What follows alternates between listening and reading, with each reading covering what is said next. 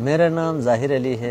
मैं राजपूत फैमिली से ताल्लुक़ रखता हूँ। और आज हमने जो डिश आपके लिए बनाया, उसका नाम मुलिदा, जिसको देसी अच्छा ज़बान में, हमारे रिवायती ज़बान में उसको मुलिदा बोली जाती है। तो उस मुलिदे को इस तरह बनाते हैं, खालिश दूध होता है, पानी नहीं, उसमें मिक्स कोई चीज़ नहीं। खालिश दूध में आपके ज़बान में जो खमाली कहते हैं, रोटी समझो।